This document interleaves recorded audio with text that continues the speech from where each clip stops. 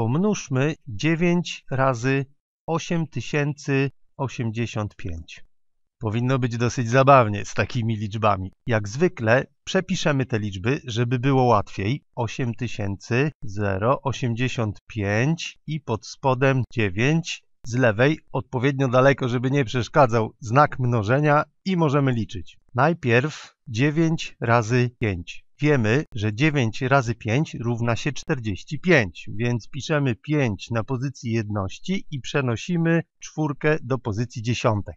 9 razy 5 to 40 i 5. Jedności mamy załatwione. Przenosimy się dalej. Pomnożymy 9 razy 8 i dodamy do wyniku te 4, które przed chwilą przenieśliśmy. Czyli 9 razy 8 równa się 72, dodać te 4 równa się 76. I znowu zapisujemy szóstkę tutaj i przenosimy siódemkę do rzędu o jeden wyższego, do setek. Teraz jesteśmy gotowi do pomnożenia 9 razy 0. 9 razy 0 setek dodać, ta siódemka stoi tutaj w miejscu setek, czyli oznacza w rzeczywistości 700. A mnożenie wykonujemy tak, że 9 razy 0 dodać 7. 9 razy 0 równa się 0, dodać 7 równa się 7. I na koniec 9 razy 8. To ostatnia rzecz, którą tutaj pomnożymy, bo z lewej od tej ósemki już nic więcej nie ma.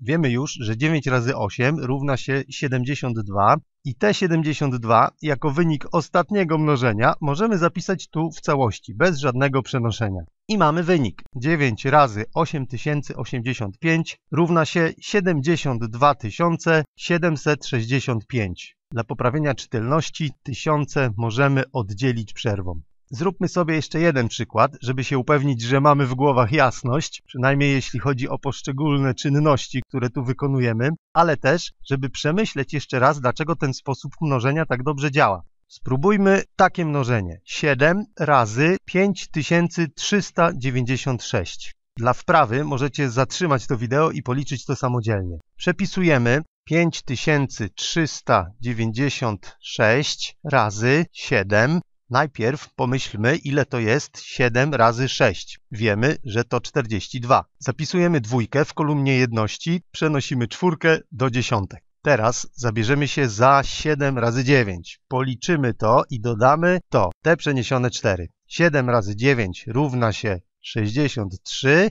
dodać 4 równa się 67. 7 zapisujemy tu, szóstkę przenosimy. Teraz musimy się zająć siódemką pomnożoną razy 3 i dodać do wyniku 6 z przeniesienia. 7 razy 3 równa się 21, dodać 6 równa się 27. Wpisujemy 7 tutaj w miejscu setek i przenosimy 2.